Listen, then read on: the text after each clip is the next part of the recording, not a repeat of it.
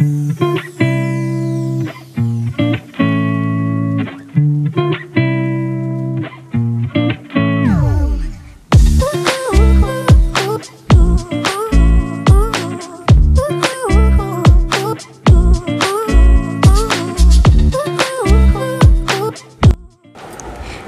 Guys कैसे हैं आप लोग? और मैं बहुत अच्छी हूँ तो यहाँ पे देखिए बाबू खा रहा है। दूध से मैंने बनाया था, दूध थोड़ा सा था ना, वो फट गया था तो मैंने चीनी डाल के खीस टाइप का बना दिया बाबू के लिए। बहुत अच्छे से खा रहा है, मज़े से, उसको अच्छा लग रहा है। तो अभी देखिए, यहाँ पे ग्रॉसरी का सामान आ गया है, और इसको मैं निकाल लेती हूँ सारा। और ये देखिए सिल्वर पेपर है तो मुझे ज़रूरत पड़ती रहती है ना, रोटी में लगाने के लिए, और कहीं बाहर जाता ना खाना तो रोटियाँ गर्म रहती ठीक रहता है ये। और ये है बेसन का पैकेट और ये मखाने का पैकेट है। मैं सोच रही हूँ ना कि मैं फ़ास्ट रखने की सोच रही हूँ। शादी से पहले मैं फ़ास्ट रखती थी मंडे को, बट मैंने शादी के बाद छोड़ दिया था बीच में ही। मगर उद्यापन वगैरह बोलते हैं ना, वो कुछ नहीं कराया था मैंने। तो मैं सोच रही हूँ कि अब रख लिया करूँगी मंडे को फास्ट। तो वही सोच रहे हैं, इसलिए मैंने मखाने मंगाए थे और थोड़ा सा चाय के साथ भून के खा लो ना, वो ठीक रहता है। और हमारे ना ससुराल में नंद भी रखती हैं, बट वो थोड़ा अलग तरह से रखती हैं और मैं शादी से पहले अलग तरह से रखती थी। तो हमारे यहाँ जो नंद रखते हैं, वो खाना खा लेते हैं, शाम को जो भी बनता है मतलब शाम को फास्ट खोलती हैं तो जो भी बनता है वो खा लेती हैं शाम को। और हम, मैं खाती थी पहले सेंधा नमक के आलू वगैरह बना लेती थी, बस वही चाय से खा लेती थी। तो मैं सोच रही हूँ, सोच में पड़ गई हूँ कि अपने यहाँ का रूट रखूँ या फिर यहाँ पे जैसे रखते हैं वैसे ही सोच रही हूँ। तो देखूँगी और ये देखिए, मैंने गुलाब जामुन का एक पैकेट मंगाया है, काफ़ी टाइम बाद मंगाया, मैं सोच रही हूँ बनाऊँगी। तो वैसे तो कोई ऐसा अवसर पे सोचते हैं कि कुछ ऐसा घर में कुछ फ़ंक्शन हो तभी बनाएँ, लेकिन मैं देखती हूँ कब बनाऊँगी। और ये किशमिश का मंगाया है, बाबू को दिया करूँगी दो किशमिश और दो बादाम दिया करूँगी। तो इसलिए मंगा लिया है। किशमिश तो मैं भी खा सकती हूँ, थोड़ी बहुत एक दो सुबह को नाश्ते में। और फ़ायदा देती है, खून भी बढ़ाती है किसमें तो देखिए, काली मिर्च है ये। काला नमक और काली मिर्च। मैंने पता है, काली मिर्च नहीं लिखी, मैंने ये खाड़े मसाले लिखे थे और उसमें मैंने लिखा था मतलब दाल, चीनी वगैरह सब चाहिए था मुझे। बड़ी इलायची जो होती है, वो भी चाहिए थी, मगर उनने मुझे, उनने केवल ये काली मिर्च ही दी है। मैंने खड़े मसाले लिखे थे, बट उनने केवल काली मिर्च दी है। और काली मिर्च तो पिसी हुई भी थी, बट पता नहीं, उनने सारा मसाले नहीं दिए। और ये देखिए, लास्ट में चीनी रह गई है और बस कट्टे को बना देती तय। और यहाँ पे देखिए मैं बना रही हूँ लंच में भरमा तुरई। तो यहाँ पे तुरई को छील के मैंने बीच से कट लगा दिया है और अच्छे से मैंने धुल ली है इसको। अब मैं मसाले ले लेती हूँ, हल्दी पाउडर, नमक, स्वाद के अनुसार लेना है क्योंकि तुरई पिचक के जरा सी हो जाएगी बाद में। और यहाँ पे देखिए, मैंने धनिया लिया है पिसा, वो चार चम्मच लिया है और पिसी मिर्च, आधे चम्मच ली है। और यहाँ पे मैंने सौंप ली है, सौंप मैंने कूट ली थी दर सा। हल्की सी मैंने तवे पे भून ली थी, उसके बाद मैंने कूटी थी, क्योंकि ऐसे कूट नहीं पाती। और थोड़ी सी कश्मीरी मिर्च डाल ली है और हल्का सा पानी डाल के इसको मिक्स कर लूँगी। और इसमें अगर प्याज लहसुन डालना चाहते तो डाल सकते हैं, प्याज लहसुन को भून के मिक्स कर सकते हैं इसमें, बट मैंने नहीं डाला है। और उसके बाद ये देखिए, मैं भर दूँगी सारा, इसी तरह से सारी जो तुरई है ना, सब भर भर के रख लूँगी। और इसका जो लास्ट में जो मसाला बचेगा ना अगर तो उसको मैं उसी में ही डाल लूँगी। ये देखिए लास्ट मेरा था तो रही, सारी मैंने ये भर के रेडी कर ली हैं। और कढ़ाई मैंने पहले ही रख दी थी, मैंने पोहा बनाया था सुबह को, नाश्ते में, उसी कढ़ाई में मैंने ऑयल डाल दिया है और जीरा डाल दिया हींग मैंने नहीं लिखी थी, क्योंकि हींग मुझे पीपल वाली दुकान से मंगवानी थी, इसलिए मैंने हींग नहीं लिखी थी तो वो आई नहीं अभी। ख़त्म हो गई है। और उसके बाद जो तुरई थी वो मैंने तेल में डाल दी है और जो मसाला बचा हुआ था वो भी इसमें डाल दिया है। बाकी और कुछ नहीं डालूँगी, गैस को बिल्कुल मीडियम करूँगी। ज़्यादा हाई पे नहीं पकाऊँगी, मीडियम कर दूँगी बिल्कुल और इसको पकने दूँगी। तो देखिए, पाँच मिनट बाद मैंने इसको चेक करा है। मुझे अलट पलट करना है चारों तरफ़ से कि अच्छे से ये दोनों तरफ़ से सीख जाए। तो देखिए, तुरई हमारी बिल्कुल पिचक के कितनी सी हो गई है और बन गई है। यहाँ पे मैंने एक टमाटर को कद्दूकस किया है, वो ऐड कर दिया है और आमचूर पाउडर डाला है और जो कस्तूरी मेथी होती है ना थोड़ी सी क्रश करके वो डाल दी है। तो हमारी बर्मा तुरई बन के रेडी हो गई। थोड़ा सा बस पकाना है, उसके बाद गैस ऑफ़ कर दूँगी। तो ये देखिए, बन गई है और बहुत ही ज़्यादा टेस्टी बनी थी। आप लोग ज़रूर ट्राई कीजिएगा ऐसे। तो चलिए, काम कर लेती हूँ बाकी मैं। हेलो गाइस तो कैसे हैं आप लोग? मैं बहुत अच्छी हूँ और अभी ना दोपहर का टाइम हो रहा है खाना पीना सब बन गया है मेरा बस अभी मेरा थोड़ा काम रह गया है।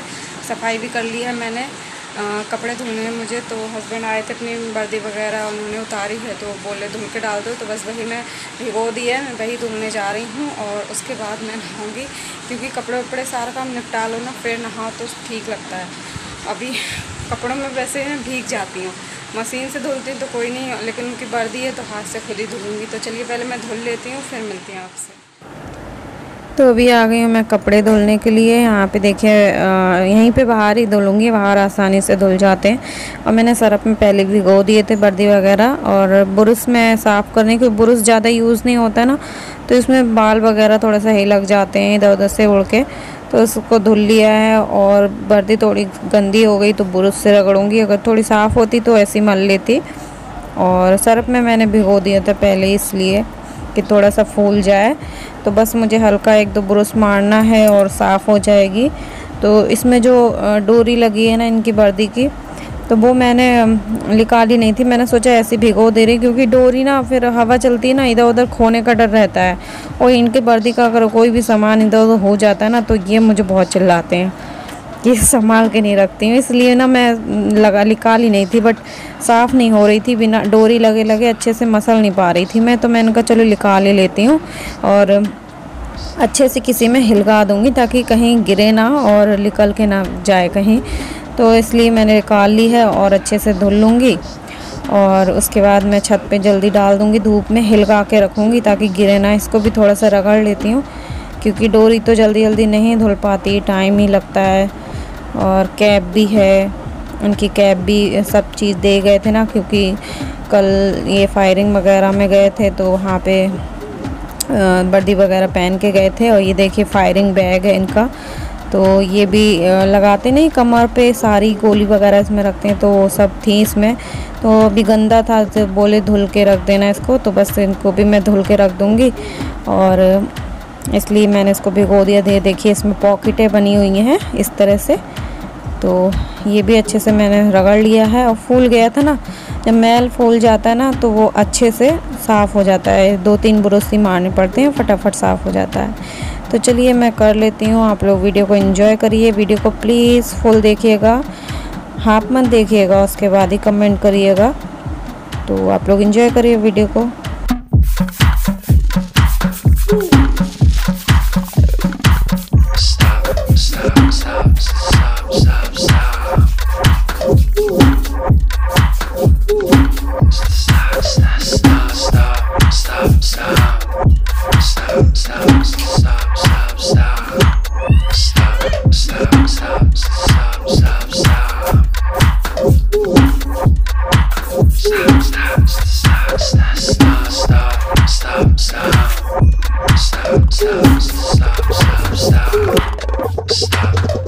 stop, stop, stop, stop. Stop, stop, stop, stop, stop, stop. Stop, stop, stop, stop, stop. Stop, stop, stop, stop, stop, stop.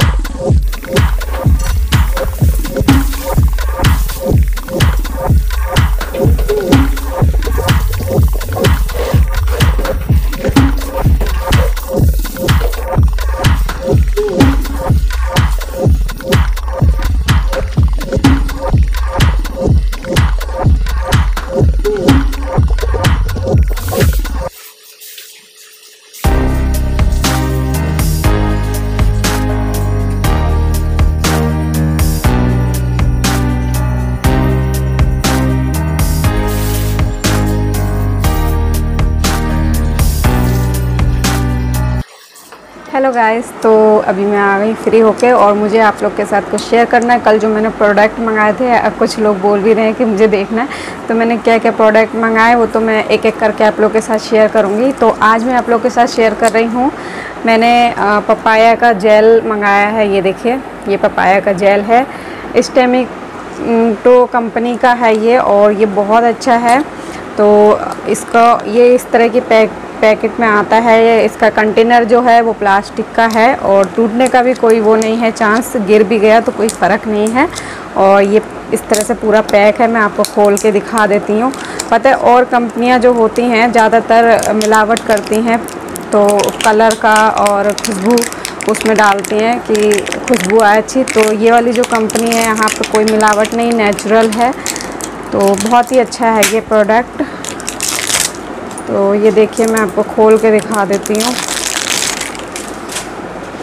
एकदम नेचुरल है और ये बहुत ही बढ़िया है और इसको एनी टाइम किसी भी टाइम यूज़ कर सकते हैं रात में, दिन में। क्रीम की जगह हम इसको लगा के इसको धूप में भी लगा के जा सकते हैं। ये देखिए।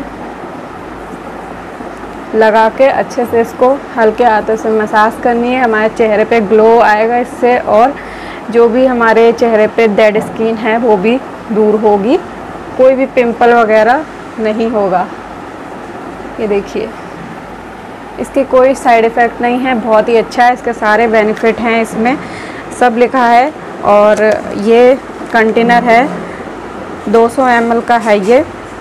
और इसका प्राइस है 347 का है। अगर आप अमेजोन पर्पल या फ्लिपकार्ट से मंगवाते हैं तो आपको इसका मतलब ऑफ़र मिलेगा आपको, सस्ते में मिल जाएगा। और लिंक मैं डिस्क्रिप्शन में दूँगी, अगर आपको चाहिए तो आप चेकआउट कर सकते हैं। लिंक डिस्क्रिप्शन में है। तो ये बहुत ही अच्छा है। धूप में भी लगा के जा सकते हैं। कोई भी हमारी स्किन को प्रोटेक्ट करेगा ये। तो पपाया का जेल है। फ्रूट का बिल्कुल नेचुरल है। और बिना झिझक आप ले सकते हैं। तो आप लोग को कैसा लगा प्रोडक्ट अच्छा लगा हो तो ज़रूर एक बार चेक करिए। लिंक आपको मिल जाएगा डिस्क्रिप्शन में और ऑफ़र भी मिलेगा आपको वहाँ पर। तो वीडियो अगर अच्छा लगा हो तो प्लीज़ वीडियो को लाइक करें और पहली बार चैनल पर आए हैं तो सब्सक्राइब करना मत भूलिए। मिलते हैं नेक्स्ट वीडियो में, तब तक लिए बाय बाय टेक केयर।